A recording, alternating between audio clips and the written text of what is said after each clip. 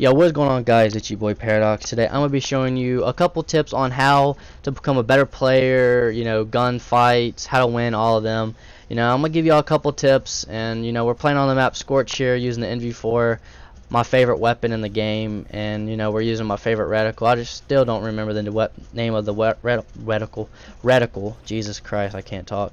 But, um, today like I said I'm gonna be showing you some ways that I do of how to become a better player and everything you know just core hardcore it's just everything. If you're a core hardcore player it doesn't matter. But our first thing most most probably the most important thing of the first thing is you want to have a comfortable sensitivity. My sensitivity that I run is a 15 over 16 and I just it just feels comfortable to me. And I feel like you have to have a comfortable sensitivity to win gunfights. And you know some people people ask me why like when I'm streaming and stuff people ask me why I have my sensitivity one higher than my horizontal. You want to have your vertical higher than your horizontal by at least one or two just because of people jumping. You want to have you want to aim up higher than you do horizontal just because of the people that jetpack and jump high up in the air and that's why you know that's why I have mine 15 16 and really that's I feel like having a comfortable sensitivity is the most important thing. That's rule number one. Second step well second thing is uh you want to run stick and move. Stick and move is like a free SCUF controller.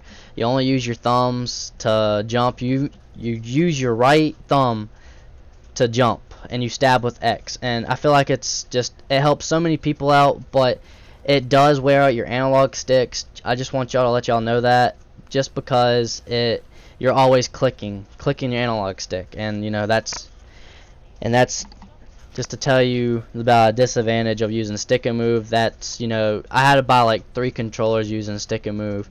And you know I'm just letting y'all know that. Third step is you know using the right gun. Make a use a gun that's more comfortable for you. Don't just use a good a random weapon you know just use a weapon that you like.